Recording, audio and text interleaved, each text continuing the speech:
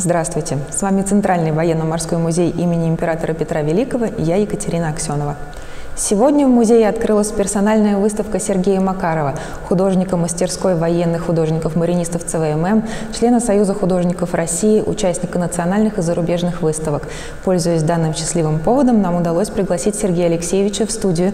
Здравствуйте, Сергей! Разрешите поздравить вас с открытием? Здравствуйте, Екатерина.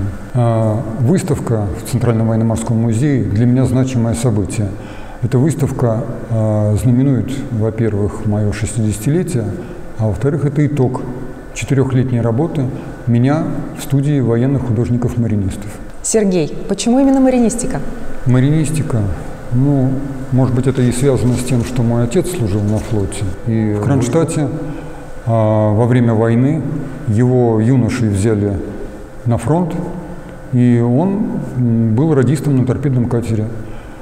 После этого, встретившись с моей мамой, которая тоже пережила блокаду, я появился на свет, и, по всей видимости, вот это сыграло определенную роль в выборе меня, когда я выиграл тендер на картины для экспозиции филиала Центрального военно-морского музея на крейсере «Аврора».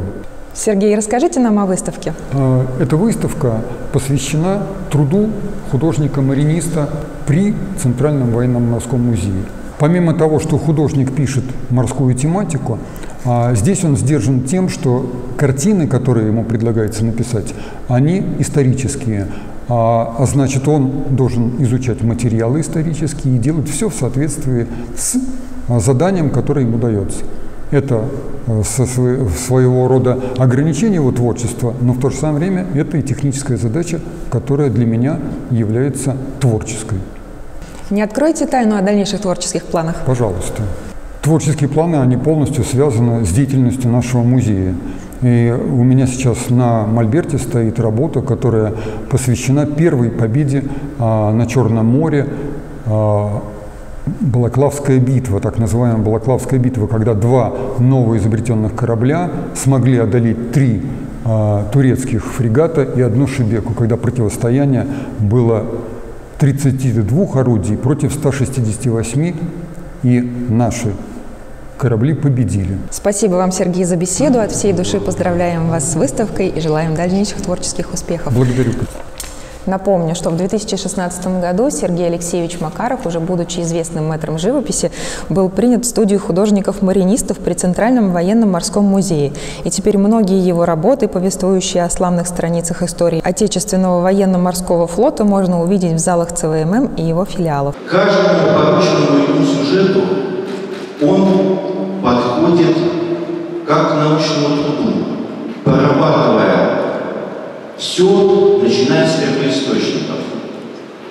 Он обращает внимание на любые мелочи, на любые детали, поэтому он, ему всегда есть что ответить на вопрос аргументированно. А почему вот вы здесь именно так нарисовали? И это замечательно, ведь наши художники-войнисты это наследники Айвазовского, Боголюбова, поэтому в стенах нашего музея у художника не может быть ответа «я художник, я так вижу». И вот э, именно побывав сейчас на выставке, которую мы открываем, мы с вами увидим, что Сергей Алексеевич – это художник, который не останавливается на достигнутом. Художник, который продолжает развиваться. Его работы уже заняли свое место в нашей основной экспозиции. И его работы обречены на вечное хранение в главном морском музее страны. На выставке поклонники кисти Сергея Макарова и любители живописи смогут увидеть работы мастера в портретном и пейзажном жанрах, исполненных маслом, а также акварели и графические работы. Подобное разнообразие манер и стилей позволяет по праву назвать Сергея Макарова многогранным художником.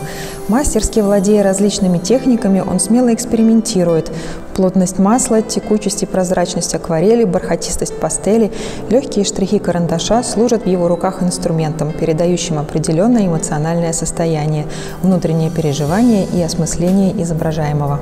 Неподдельный интерес Сергея Макарова к человеку выражается в портретах. Мастер старается досконально изучить характер героя полотна и только затем раскрывает увиденную в нем внутреннюю красоту. Пейзажах Сергея Макарова природа не статична, она живет своей жизнью, вечная и изменчивая, прекрасная даже в ненастье. В его работах раскрывается трепетная душа художника, они говорят об упоенности жизни, о прелести тишины. В них северная природа гармонирует с душевным миром людей. На выставку действительно стоит прийти посмотреть. Лично мне понравились городские пейзажи. А что понравится вам? Приходите и оставайтесь с нами. С вами был Центральный военно-морской музей и я Екатерина Аксенова.